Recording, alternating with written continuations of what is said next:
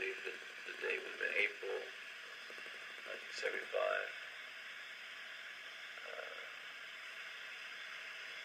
The young woman's body would have been placed in the Colorado River about five miles west of Grand Junction. It was not buried.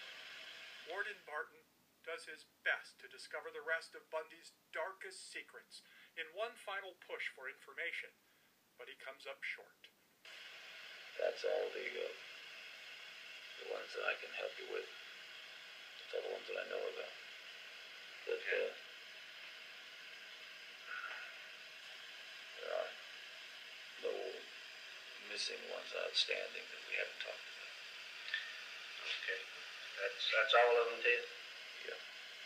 That go ahead, turn off for just a second. Uh, gotta get, a smoke off somebody. Cigarette?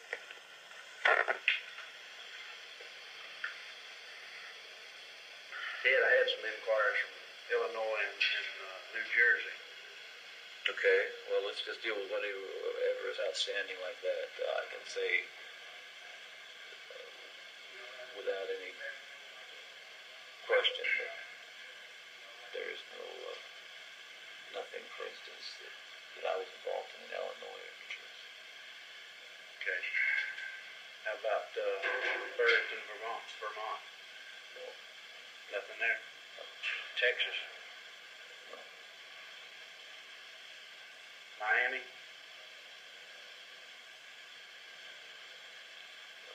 no. Okay. That's, that's all you got. Okay, Ted. Thank you.